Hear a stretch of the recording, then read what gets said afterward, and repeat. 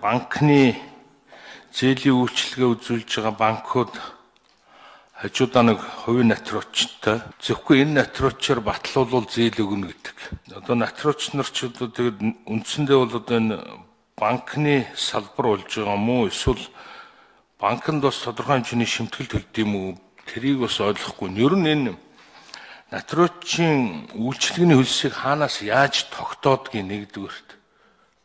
Тэгэд банкны одоо өндөр дүнтэй зээл авж байгаа улсуудаас за тэгээд тохирч өрийгээд бас л их хэмжээний мөнгө авч байгаа.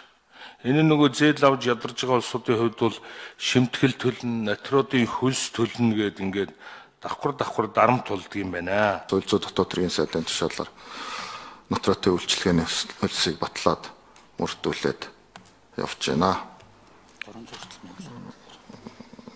За дээдл нь бол нэг 300 мянга орчим хүртэл төгрөг байгаа. Банк бол заавал энэ нотротын нотротоор гэрчлүүлсэн тохиолдолд зээл олгоно гэдэг тийм шаардлага тавьж болохгүй.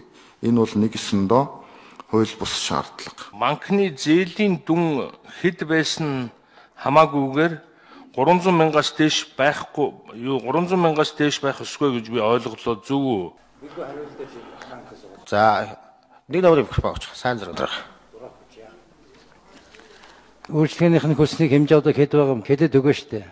Нэмж болд юм хастдгүй юм уу гэдгийг. Эргүй юм шиг суугаад ах юм. Манайхан босон ойнол ер нь танил талаад хөөцгөдгөл болсон штэ. Бүгд бие биенээ таньдаг.